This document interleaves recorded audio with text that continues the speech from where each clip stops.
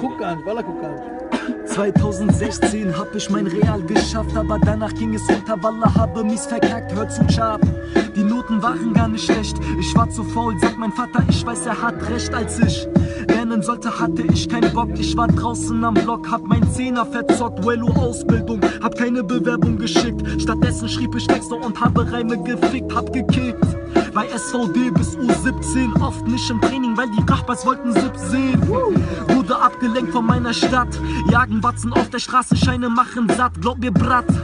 Diese Welt ist schwarz und grau, aber die Scheine sind bunt, grün, gelb, lila, blau. Ich war blind wegen Diggerbuscher Straßen für die Fam, weil manche für die Brüder saßen. Meine Karriere wurde gefickt wegen einer OP. Leistung ging gut, mehr geht nicht, dachte ja, ist okay. Para ist, wollte ich mit Fußball schaffen. Ich hatte Pech, war verletzt, hab SVD verlassen. ja, ja, ja,